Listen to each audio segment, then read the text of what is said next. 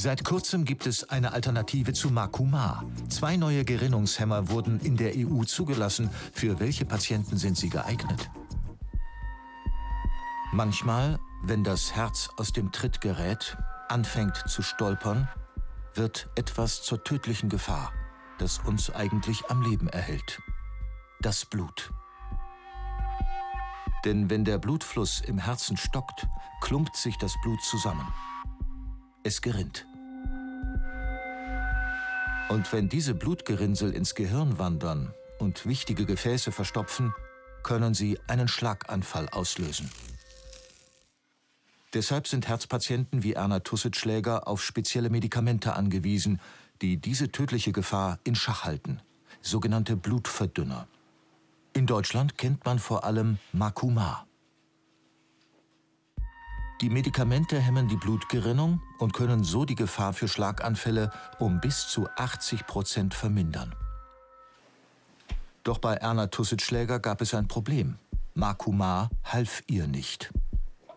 Es war einfach ganz, ganz schwer einzustellen. Ich musste jede Woche zweimal hin und hat trotzdem nicht gepasst. Ich nehme nicht ein Medikament, wenn es nicht unbedingt sein muss, bis ans Lebensende, was ich nicht einmal, wo ich nicht einmal genau weiß, ob es was hilft oder nicht. Weil wenn es nicht richtig eingestellt sind, kann es auch nichts helfen.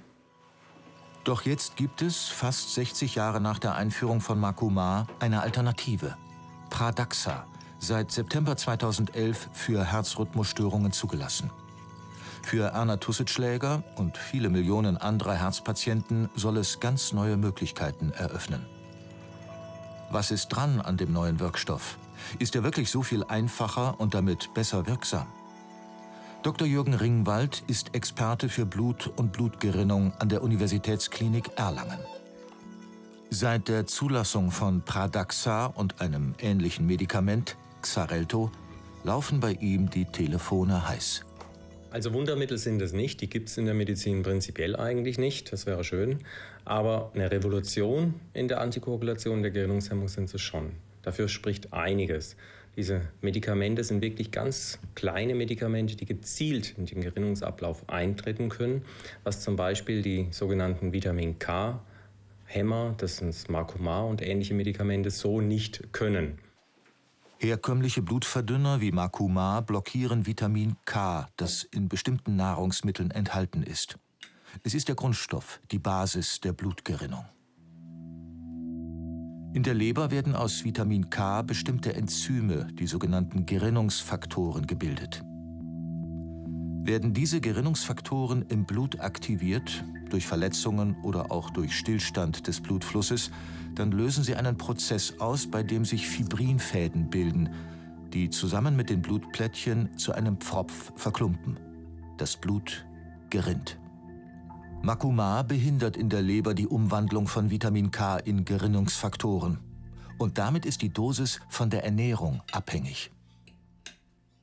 Das heißt, man ernährt sich ja vielleicht einen Tag mit mehr Vitamin K-haltigen Substanzen, beispielsweise Spinat oder Grünkohl, ist relativ viel drin, oder eben mit Substanzen, die Ernährungsmittel, die weniger Vitamin K halten. Und deshalb gibt es da auch schon entsprechende Schwankungen, die man dann immer wieder durch Dosisanpassung, Laborkontrolle angleichen muss. Und wenn die Blutverdünner falsch eingestellt sind, drohen gefährliche Komplikationen. Sind sie zu hoch dosiert, besteht das Risiko für lebensgefährliche innere Blutungen. Sind sie zu niedrig, drohen Schlaganfall und Herzinfarkt. Bisher mussten Kardiologen, wie Dr. Horst Bayer, deshalb sorgfältig abwägen, ob die Patienten von der Behandlung mit Blutverdünnern überhaupt profitieren würden.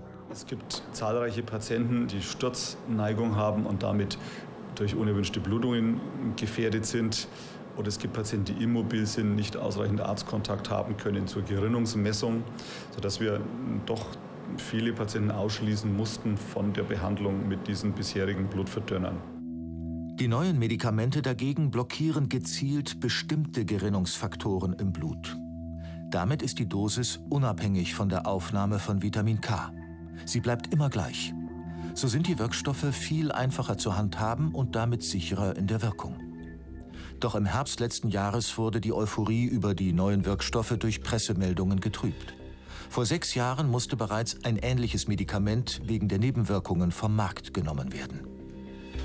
Diese Todesfälle, die betreffen in erster Linie ein Medikament, das Pradaxa, und sind wahrscheinlich im Zusammenhang mit Nierenfunktionsstörungen, also eingeschränkter Nierenfunktion bei den Patienten ähm, zustande gekommen.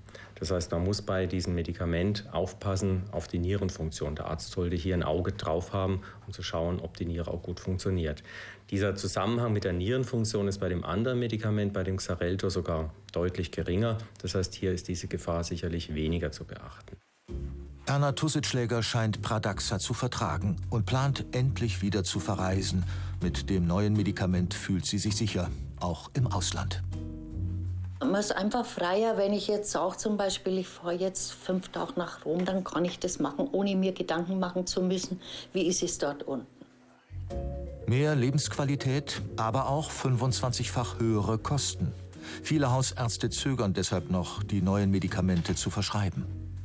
Ich denke, es ist im Gespräch mit dem Hausarzt, mit dem Patienten, auch mit dem Spezialisten, vielleicht dem Kardiologen oder Gerinnungsmenschen, dann zu besprechen, ob der Patient der jeweilige Patient dieses Medikament bekommt, trotz des primär höheren Preises.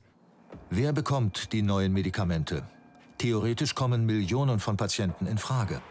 Das könnte die Krankenkassen angesichts der zigfach höheren Kosten überfordern. Wie teuer das Ganze tatsächlich kommt, wird derzeit in Studien geklärt.